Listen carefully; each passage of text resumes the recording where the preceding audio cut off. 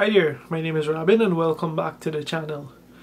Um, today I actually want to discuss a pretty epic finale to what was an absolutely wondrous trilogy for me and that is Katherine Arden's Winternight trilogy, the novel in question being The Winter of the Witch.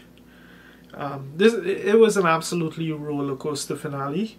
I, I kept saying that the previous book um, The Girl in the Tower, for me, it, it felt like a lot of build up, a lot of uh, groundwork being laid.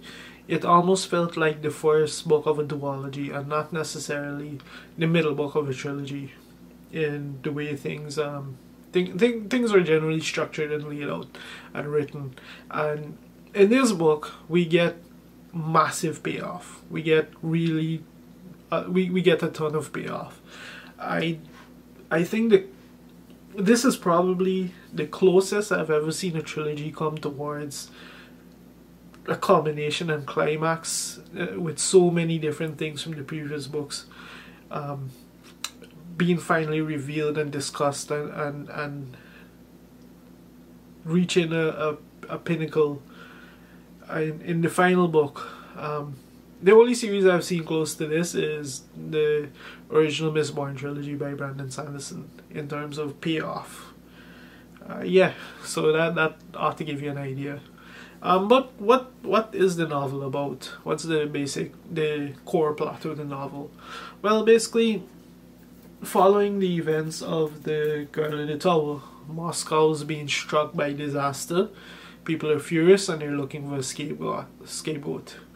Enter Vasya, naturally, um, who happens to be in the wrong place at the wrong time. The bear is on the loose again and causing chaos, and the Grand Prince of Moscow is being led down paths by advisors that can only end in war. Um, there's a ton of mysteries that still abound, and there is still the story of Vasya and Morozko that needs to be that needs to come to a finale. And that's pretty much everything that's packed into this final novel. Um, with no exaggeration, I think this book is everything great about the first two books combined in one. Absolutely my, my favorite thing of the first book was absolutely Katherine Arden's writing style, that rich mythic fairy tale uh, narration style, and it makes a very triumphant return in this novel. Not for the entire thing, because not all events in this novel uh, suit that particular narration style, but the more fantastical parts, the more mythic parts, the more um, those those those more richer, more epic parts of the novel do benefit a lot from that narration style, and it really ramped up the enjoyment and ramped up the excitement and ramped up the engagement in the finale as a result. Um, and we do also get a big payoff on the more historical fiction elements of the trilogy so far, with um, with the book eventually becoming a kind of rolling climax where we have event after event after event that occurs that just feels like payoff for the previous novels and then something will happen. Uh, it, it's just wild. It's just absolutely wild. Um, the fantasy element of the of the book is way more than the, than the second book. We get like a lot of the mystery of the series is finally answered. We get the backstory of Vasya's heritage and how she has the powers that she has. We get the backstory of the princess who married the prince, um, in who I believe was Vasya's grandmother or the, or basically her ancestor. Um, and we do get like a, a, a final embracement of her powers by Vasya, a final embracement of her role in this novel, uh, in, in this series of novels. Um, no more hiding, no more shirking. She makes a decision. She fully steps into that world, that more magical pagan world, and it it, it makes for very very very creative, very imaginative, very lush reading. Like some of the imagery used in those parts of the the novel are some of my favorite of the entire trilogy so far. Um, we do get like a further expansion of Russian folklore, of Russian mythology. I only wish I was more familiar with with Russian mythology to fully appreciate a lot of the things that came up.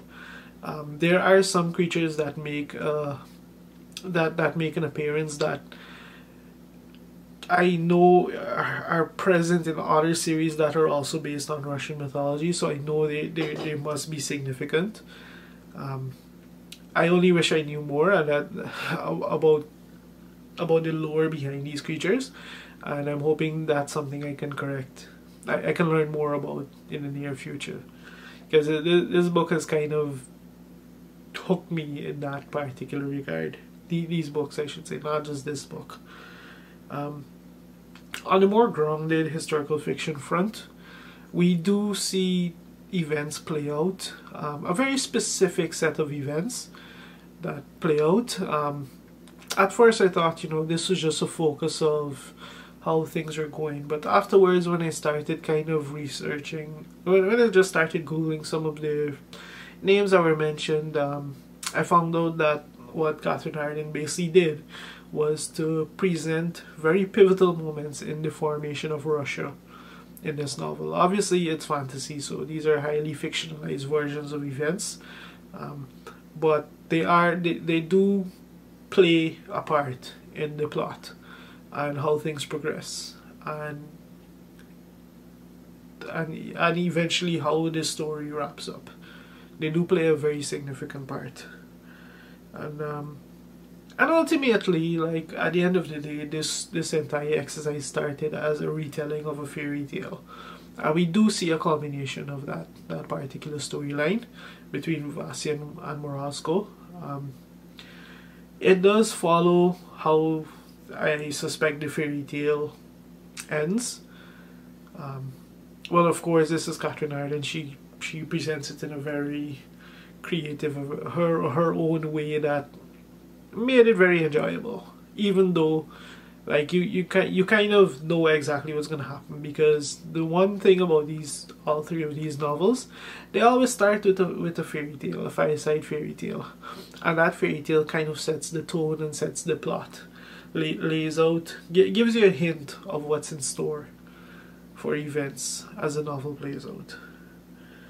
Um, ultimately, I think this might be the most engaging, the most captivating of all three novels, mainly because whereas I really enjoyed the first book and, and the second book was good also, but not as not as um, captivating. This one benefits from having an entire series to set that two two previous books that set it up before we have we finally get answers to a lot of big mysteries a lot of big hooks and a lot of big subplots that have been threading in and out of the story.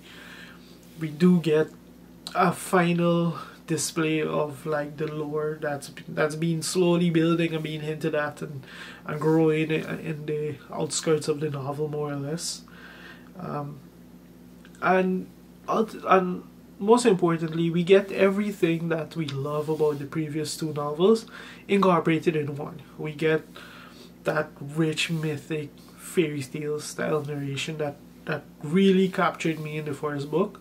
And we do get a lot of very significant historical fiction events from that came directly from the second book that ultimately they, they, they fused in a way that I didn't expect them to to really fuse and really work.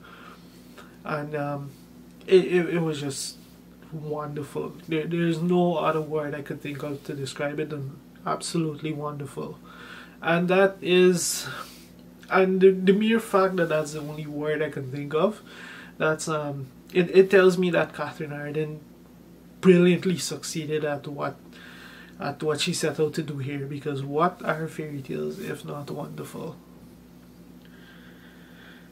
um so needless to say i enjoyed this trilogy i enjoyed this book it firmly cemented Katherine Arden as one of my favorite current active writers.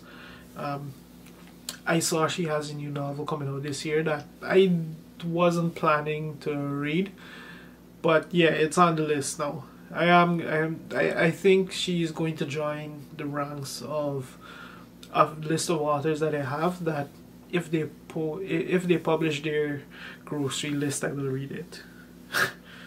uh, yeah, so that's something to watch out for.